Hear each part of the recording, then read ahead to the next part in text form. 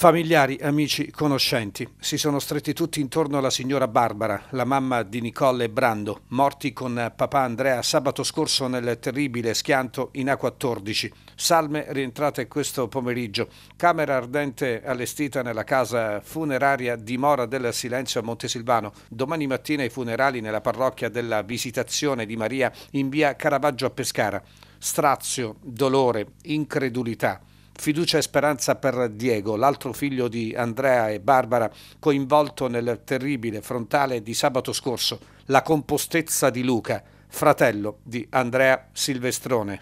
Non ci sono parole, tragedia immane a dir poco. Ah, non ci sono parole, eh,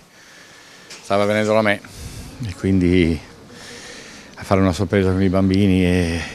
ha fatto questo incidente spezzato la vita di tutti, purtroppo dei bambini, sua, la nostra famiglia è distrutta in questo momento qui e mm, tutto avremmo pensato tra una cosa del genere, soprattutto i bambini, i bambini che, che, che ho visto ieri, io e Paolo abbiamo fatto il riconoscimento e è stato, da ieri mi è cambiata la vita perché finché morirò eh, avrò sempre l'immagine di loro lì e quindi eh, penso che sia la cosa peggiore che poteva capire, soprattutto quando sono di mezzo i bambini, che lui eh, aveva una forza incredibile e i bambini erano la sua forza, lui viveva per questi bambini, i bambini lo consideravano un eroe e quindi vedere spezzate le vite delle sue e dei bambini per noi, per la famiglia è devastante. Tra l'altro Andrea che abbiamo conosciuto tutti qui a Montesilvano faceva della disabilità la sua forza personale per dare coraggio agli altri e questa è una cosa straordinaria. Lui non si sentiva disabile, diceva che, che appunto la disabilità era, era, una forza che gli dava occasioni diverse rispetto a quelle che abbiamo noi, quindi era lui che dava la forza agli altri, era lui che dava forza anche a noi, cioè noi volte lo vedevamo che stava male e stavamo male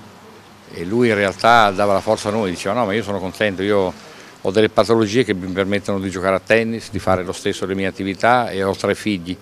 quindi dice io non, non, mi sento malato, non mi sento decappato, anzi mi sento più forte degli altri, è una cosa impressionante. Adesso resta Diego,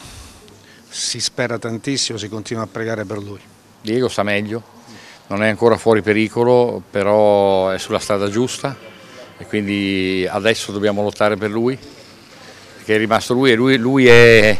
il motivo perché ci spinge ad andare avanti, perché se non avessi avuto lui penso che sarebbe stata molto complicata.